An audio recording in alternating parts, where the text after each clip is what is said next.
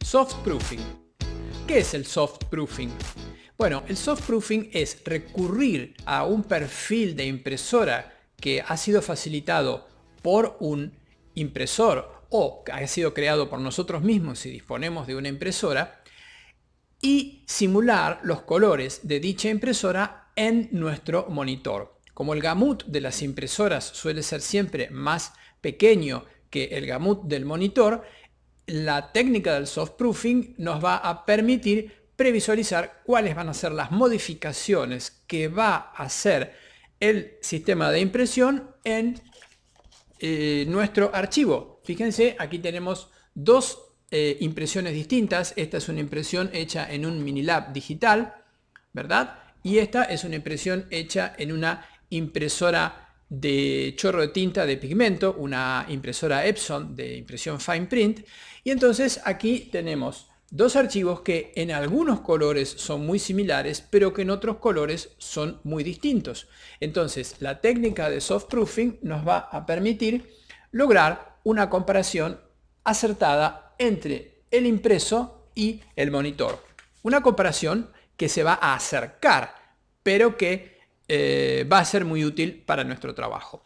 El tema es cómo generamos o cómo conseguimos los perfiles de impresión. Si nosotros tenemos una impresora de alta calidad o un plotter de alta calidad, podemos comprarnos un dispositivo eh, para, calibrar, para calibrar impresoras, similar al calibrador de monitor. Es un dispositivo que usan los impresores profesionales para elaborar sus propios perfiles. Perfiles que en el caso de las impresoras Fine Art tienen que ser para una determinada impresora y para un determinado tipo de papel. Como fotógrafos, si no somos impresores, lo que nosotros podemos hacer es recurrir a los perfiles que nos facilitan los servicios de impresión para previsualizar sus, eh, sus impresiones. Así que vamos a ver ahora cómo conseguirnos un perfil de color.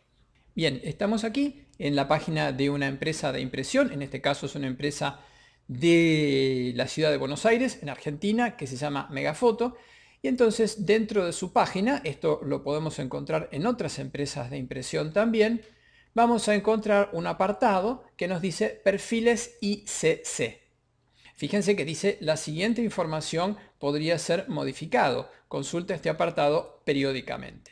Entonces vamos a hacer clic aquí y vamos a encargar un perfil para copias clásicas desde 9x13 hasta 30x45. Este perfil corresponde a la impresora Frontier 550, que es una impresora Minilab y que trabaja sobre papel fotográfico tradicional. Y vamos a dar clic aquí y nos aparece la posibilidad de grabar este perfil. Damos guardar y ya se ha grabado. Son archivos muy pequeñitos y supongamos que nosotros queremos hacer en esta misma empresa otro impreso, queremos imprimir en la Epson 9900, el plotter o impresora de alta calidad de formato grande por metro cuadrado y que lo queremos hacer en un papel brillo. Fíjense que aquí tenemos las dos opciones, papel luster y papel brillo. Evidentemente necesitamos un perfil para cada tipo de papel. Entonces vamos a bajarnos aquí el perfil de esta impresora Epson 9900 sobre papel brillo. Harman. Damos guardar y entonces ya hemos guardado los perfiles. Vamos al escritorio y aquí aparecen ambos perfiles, el perfil del Minilab Frontier y el perfil de la impresora Epson 9900. Damos clic derecho en el perfil y marcamos instalar el perfil ya queda instalado en nuestro sistema operativo y lo mismo damos clic derecho instalar el perfil y ya queda este perfil grabado en nuestro sistema operativo. Para Mac es muy similar, eh, son archivos muy pequeños y ya estamos entonces en condiciones de hacer una prueba de soft proofing para ver cómo va a quedar impreso nuestro archivo fotográfico.